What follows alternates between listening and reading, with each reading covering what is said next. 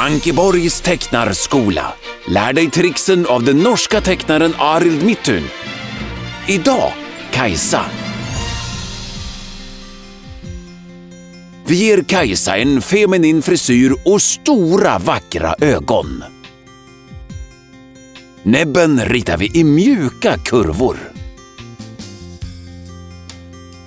Kalle och Kajsa har lika stora huvuden, men Kajsas näbb är mindre.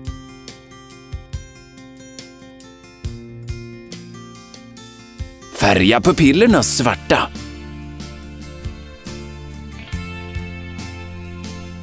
Rita dit halsen och bluskragen. Tre ögonfransar till varje öga gör Kajsa till Kajsa. Och glöm inte den stora fina rosetten på hennes huvud.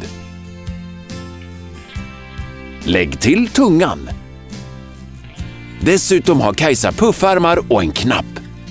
Mittdelen på blusen är svart. Lycka till! Nästa gång, se Arild teckna Knatte Fnatte och Chatte. Vill du se filmen en gång till så gå in på kalanka.se.